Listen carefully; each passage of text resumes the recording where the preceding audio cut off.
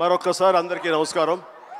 ఎందుకంటే ఈరోజు నేను వచ్చింది ఇన్ఫ్లుయెన్సర్స్ని అందరినీ మీట్ అవ్వడం కోసంగా వాళ్ళతోటి మాట్లాడడం కోసంగా. బట్ తర్వాత తర్వాత ఏమైపోయిందంటే విజయ్ దేవరకొండ గారు నేను కలిపి ఇది ఇంటర్వ్యూలో అయిపోయింది కాబట్టి నాకు ఎందుకు ఎక్కడో అసంతృప్తిగా ఉంది. నా గురించి చెప్పుకోవడానికి కాదు ఇక్కడికి వచ్చింది. మీ గురించి తెలుసుకోవడానికి మిమ్మల్ని మరింత అట్లాగే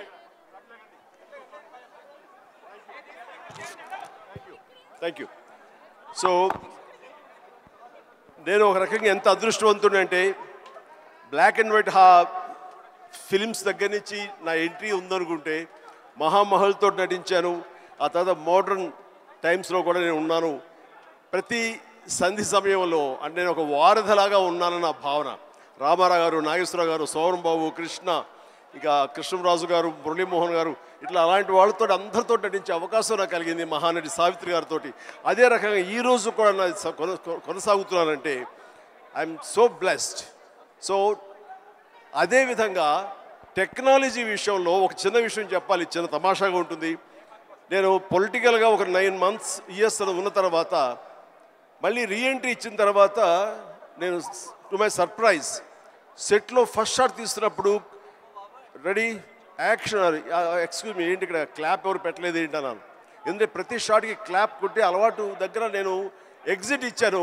తిరిగి వచ్చేసరికి ఎవరు క్లాప్? సార్ ఏమనుకోదు ఇప్పుడు క్లాప్ బోర్డ్స్ లేవండి.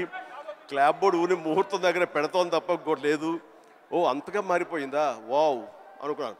But two thousand fifteen Khaidi number one ఫిఫ్టీకి నేను చెప్తున్న విషయం అప్పటికే నేనేంటి ఇంత మారిపోయింది అనుకున్నాను. కానీ ఆ రోజుకి ఈ రోజుకి మరింత విస్తృతంగా టెక్నాలజీ మారిపోయింది అప్రోచ్ మారిపోయింది పబ్లిసిటీ కానివ్వండి పీపుల్ రీచ్ అవడానికి కానివ్వండి మరి ఎన్నో కొత్త పుంతలు తొక్కుతూ ఈ రోజున ఇన్ఫ్లుయెన్సర్స్ అనే దీని మీద ప్రభావితం చేసేటటువంటి ఇలాంటి ప్రభావిత శాలులు మీలాంటి వాళ్ళందరూ ఉండబట్టి ఈ రోజున టోటల్గా సినారియో మారిపోయింది. ఇలాంటి సినారియోలో కూడా నేను ఉండడం అనేది నాకు చాలా చాలా బాగుంది చాలా సంతోషంగా ఉంది. అండ్ ఇలాంటి విట్నెస్ చేయడం వల్ల కూడా నాకు ఒక గ్రేట్ ఎక్స్పీరియన్స్.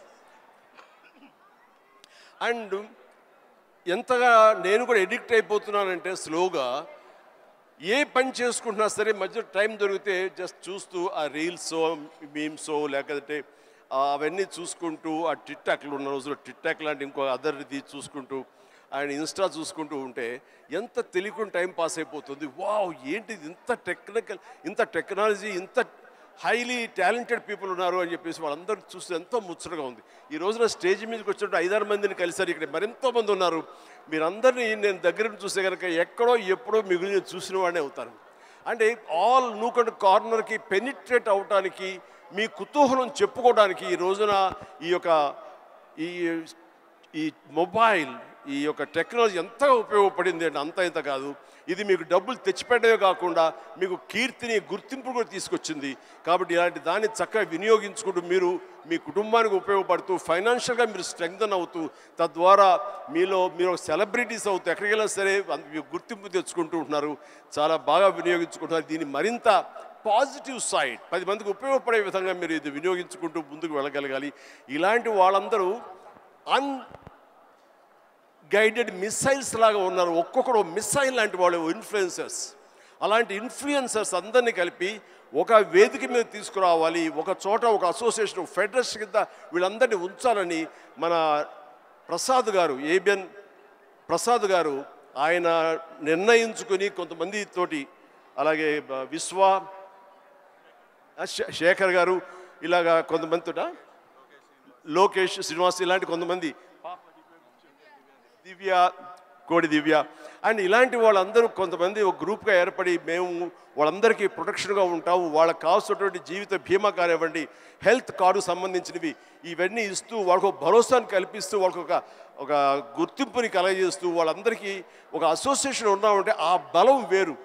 అలాంటిది భరోసాగా మేము ఉంటాం అనుకుంటూ ఆ థాట్ రాగానే ప్రసాద్ గారు ప్లీజ్ షుడ్ కమ్ ఫార్వర్డ్. అని మీ గ్రూప్తో రండి మీ గ్రూప్తో రండి.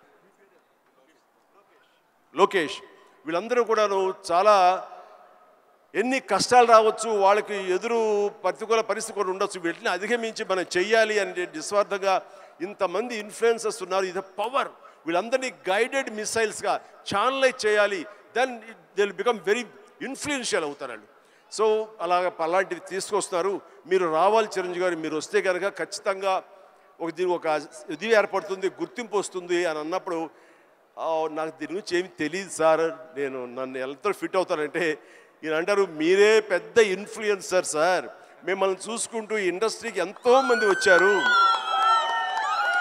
ఈ రోజున నైంటీ పర్సెంట్ డైరెక్టర్స్ చూసుకున్నా నైంటీ పర్సెంట్ యాక్టర్లను చూసుకున్నా ఎవరు చూసుకున్నా సరే మనం ఏమీ కాకపోయినా సరే అంత అవ్వచ్చు ఆ ఎత్తుకు వెళ్ళొచ్చు అంటానికి చిరంజీవి గారు మీరు ఎంతోమంది ఇన్ఫ్లుయెన్స్ చేశారు. సో మా ఇన్ఫ్లుయెన్సర్స్కే మీరు పెద్ద ఇన్ఫ్లుయెన్సర్. మీరు ఈ ఫంక్షన్ రావడం అనేది సబబు. వచ్చి ఒక ముక్క చెప్పినా ఏం చెప్పినా వాళ్ళకి వెనకాల మేము ఉన్నామని ఒక మాట మీరు అంటే కనుక వాళ్ళకుండే భరోసా వేరు వాళ్ళకుండే ధైర్యం వేరు అని అని చెప్పినప్పుడు ఎస్ నేను వస్తాను. ఎందుకంటే ఈ చిన్నపాటి ఎంకరేజ్మెంట్ వాళ్ళకి ఎంత బలాన్ని ఇస్తుంది వెయ్యి ఎరువులు బలాన్ని ఇస్తుంది. వాళ్ళు ఉండేటటువంటి ఆ హిడెన్ టాలెంట్ మరింత వ్యక్తపరచుకోవడానికి మరింత బయటికి తీసుకొచ్చి ఈ క్యాటర్ చేయడానికి పది మందికి అది వ్యక్తీకరించడానికి ఎంతో దోహదపడుతుంది. ఆ రకంగా మీ యొక్క కళలు ఆపద్దు. మీ ప్రయత్నాలు ఆపద్దు. మీ క్రియేటివిటీకి మీరు ఫుల్ స్టాప్ పెట్టద్దు. ఇట్ ఈస్ ఆన్ గోయింగ్ ప్రాసెస్గా చేస్తున్నటువంటి ఎంత మీరు చర్న్ చేస్తే అంతకంతగా అది బయటకు వస్తుంది. దాన్ని పది మందికి చేయండి. All the very best thank you thank you thank you కానీ దీనివల్ల చిన్న గొడవ జరుగుతాయి మాకు. ఇంట్లో అది చెప్తాను. మొన్న ఫైనాన్షియల్ ఇయర్ ఎండ్ మా ఆడిటర్స్ కూర్చున్నారు లాయర్లు కూర్చున్నారు మా అకౌంటెంట్లు ఉన్నారు. నేను ఒక టేబుల్ మీద కూర్చాను. పవర్ పాయింట్ ప్రజెంటేషన్ జరుగుతుంది విజయ్. సార్ కూర్చున్న తర్వాత నేను చూసుకుంటున్నాను. వాళ్ళు చెప్పేదేమో కొంచెం టెక్నికల్గా మాట్లాడుకుంటారు మనకేం అంత ఎక్కలేదు. ఇలా చూసుకుంటున్నాను వాళ్ళు చూపిస్తున్నారు పవర్ పాయింట్ నేను ఇలా కెలుక్కున్నాను నేను చూసి ఏం తెలుసా? మా పాప నేర్పింది. తమిళనాడులో విలేజ్ కుకింగ్ అని. ఎల్లారు వాంగ ఆల్వేస్ వెల్కమ్స్ యూ అని. అదేదో చూస్తాను వంటలేదు అదే చాపింగ్ బాగా కొడతారు వాళ్ళు అంటున్నారు సార్ సార్ మీరు ఇవేమి మీరు నోట్ చేసుకోకర్లేదండి ఇది సాఫ్ట్ కాపీ మీ ఇంటికి పంపిస్తాం. అని అన్నారు. ఓహో అలా అనుకున్నారు మీకు అలా అర్థమైందా? అని చెప్పి చెప్పాడు. అట్లాగా ఏ పని కుదురుగా చేసుకోనివ్వట్లేదు. ఆఖరి ఇంట్లో సంస్థ అది కూడా పాడు చేస్తున్నారు. ఇలా అయిపోయింది మీ ఇన్ఫ్లుయెన్స్ నా మీద. ఇంత ప్రభావం చూపిస్తుంది. కాబట్టి ప్లీజ్ నేను కొంచెం అంత ఎడిక్ట్ అవ్వకుండా జాగ్రత్త పడడానికి ప్రయత్నం చేస్తాను. కానీ నాలాంటి వాడిని కూడా ఎడిక్ట్ అయ్యేలా చేయగలిగిన సత్తా మీకు ఉంది. చెయ్యండి. అండ్ తద్వారా మీరు ఆర్థికంగా పరిపుష్టత ఏర్పరచుకోండి. మీ కుటుంబానికి చేదోడు వాదోడుగా ఉండండి. మీరు సంపాదించిన దాంట్లో కొంత మొత్తాన్ని సొసైటీకి మీరు ఏర్పాటు చేయండి వెచ్చించండి. తద్వారా మీ వల్ల సొసైటీ బాగుపడుతుంది ఎంతో లబ్ధి పొందుతుంది. తద్వారా ఉభయత్ర ఉపయోగం ఉంటుంది. కానీ ఈ రోజున వీరు చేస్తున్న ఈ ట్రూప్ చేసినటువంటి గ్రూప్ చేసినటువంటి ప్రయత్నం ఇది మరింత బలోపేతం అయ్యి ఇప్పుడు తెలుగు సంబంధించినటువంటి డిజిటల్ మీడియాగా ఏర్పడింది.